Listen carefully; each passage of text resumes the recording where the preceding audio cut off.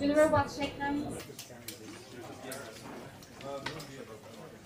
Do you think we should be excited I believe that humanoid robots have the potential to lead with a greater level of efficiency and effectiveness than human leaders.